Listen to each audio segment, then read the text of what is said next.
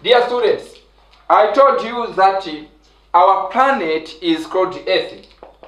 Earth. This is the third planet whereby living things can be found. And this Earth is consisting of four things. I told you that there is the atmosphere. Atmosphere. This is the first part of the Earth.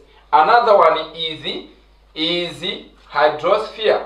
Hydro hydrosphere.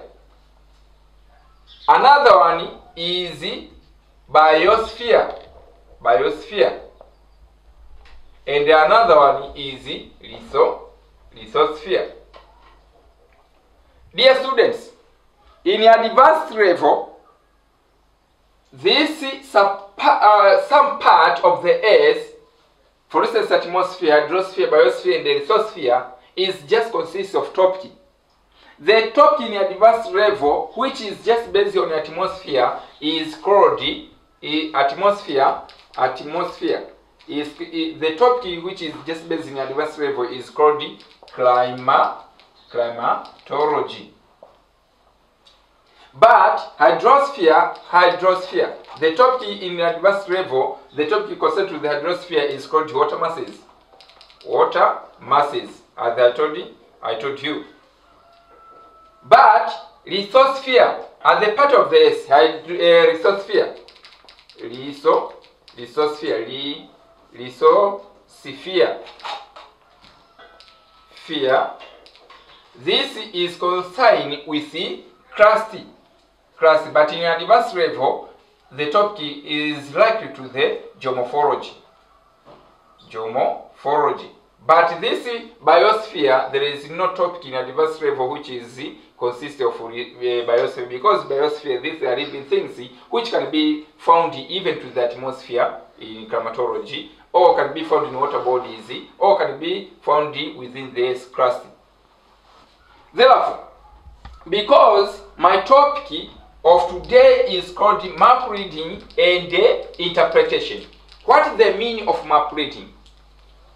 Because this subtopic you have read together, therefore, the map is just gathering of this subtopic. Therefore, let's describe according to this paper which have been analyzed in this paper as the, the division of map reading and the interpretation. Okay, map is map is a scaled representation of the earth surface on the flat board like a piece of paper, bland, a blackboard, or cloth, or wall, etc. It is used color, symbols, and labels to represent features found on the ground. Or is a flat piece of paper on which is printed and a presentation of part of the surface by using a scale.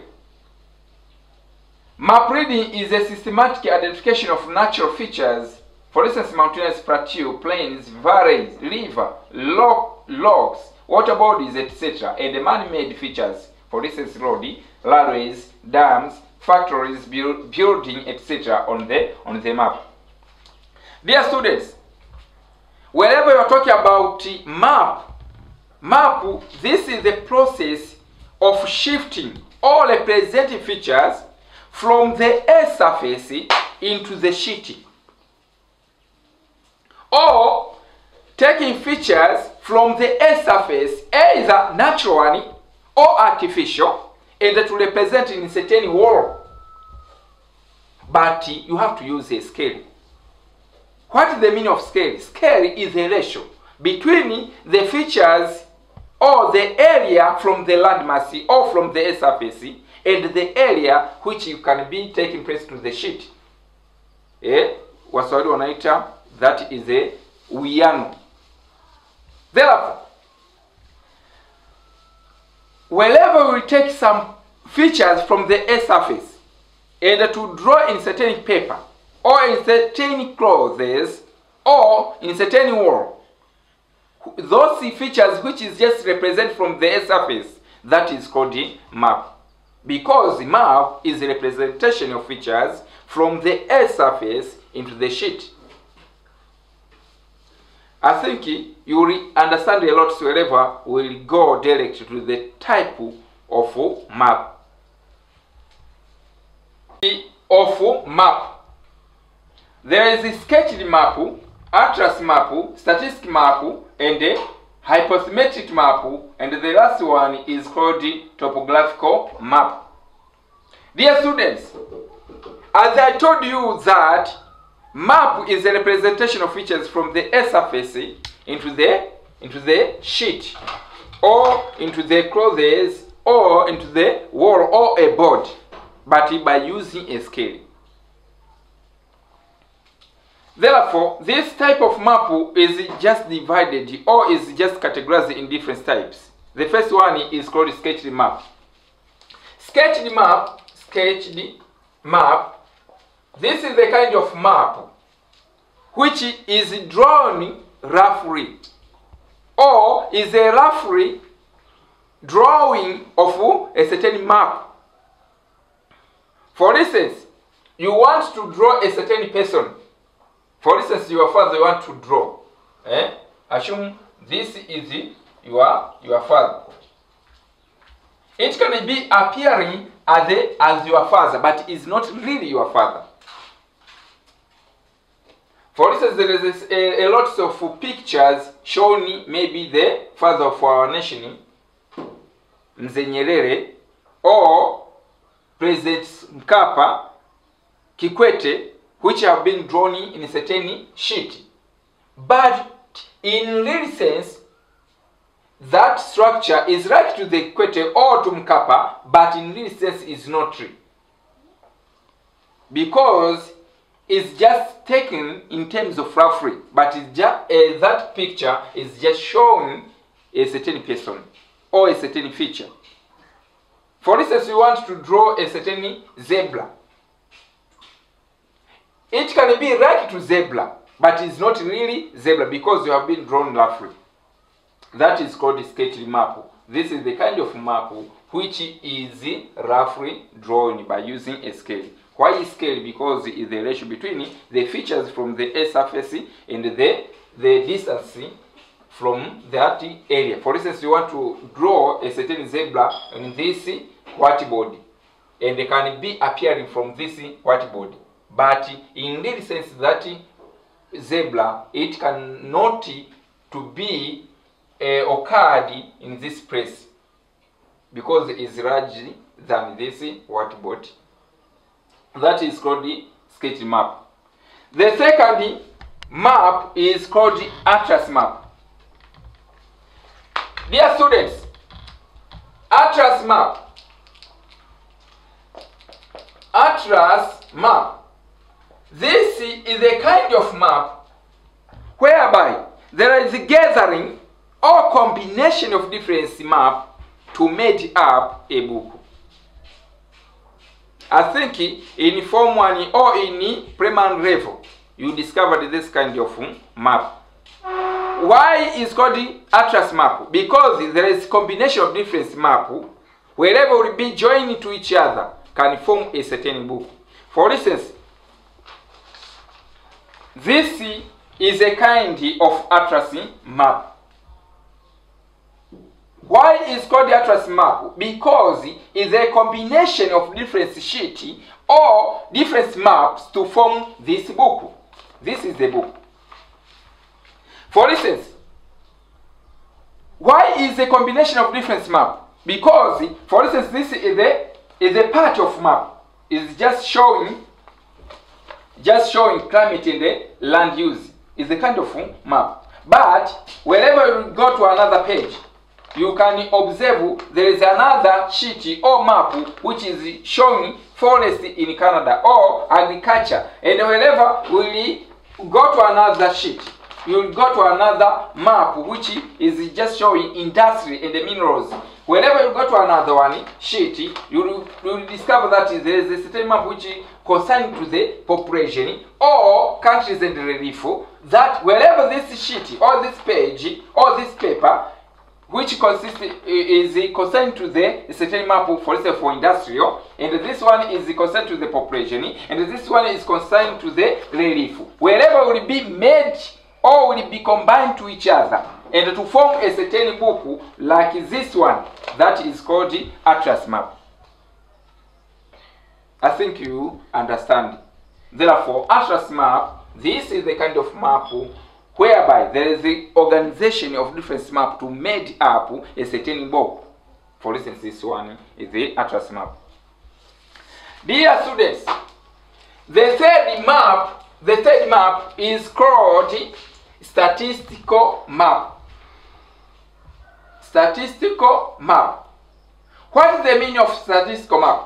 And you know the meaning of map representation of features from the earth surface into the into the sheet by using a scale therefore statistic map this is the kind of map whereby there is organization or distribution or population which have been taking place from the surface into the sheet.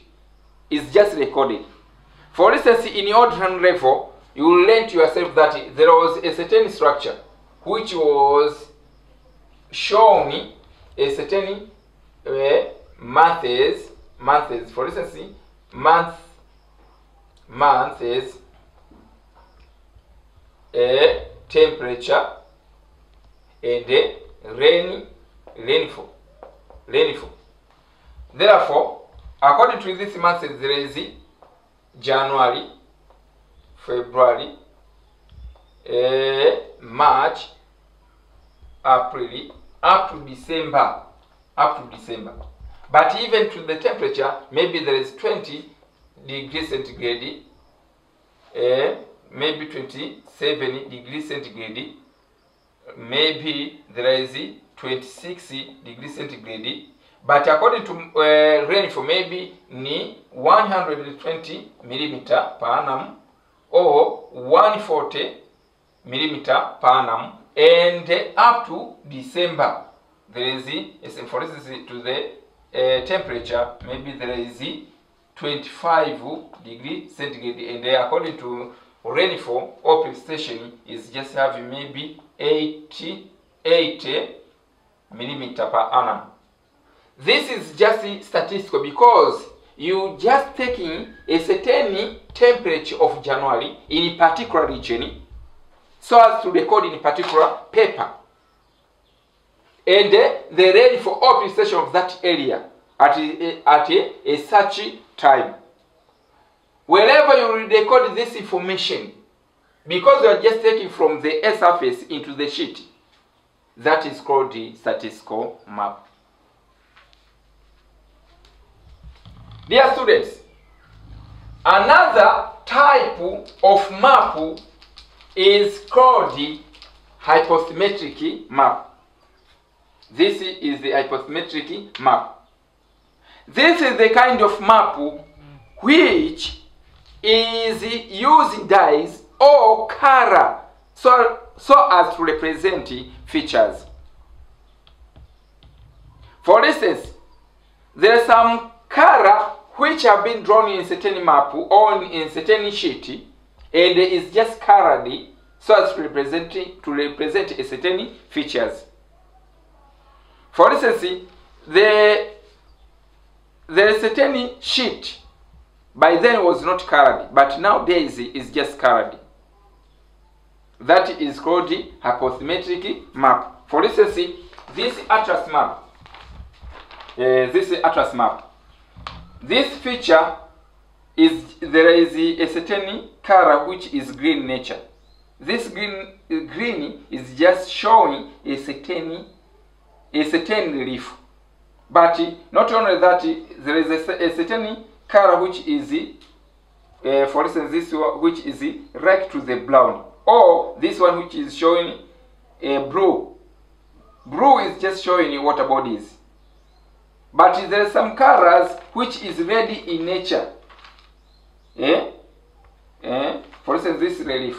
There is a ready ready relief is just showing a certain i think this is a, uh, this type of hypsometric will observe mostly to certain uh, to another part of the map which is called topographical because the topographical is just showing some features which is just colored and representing its own relief either highland or lowland For instance, here there is a market which is called uh, called Kariakoo. This is this is the beauty of, of Kaliako market. And the people they are just doing the activities, the daily activities, because it's just represented from from Kaliako and to be uh, designed in this paper to represent.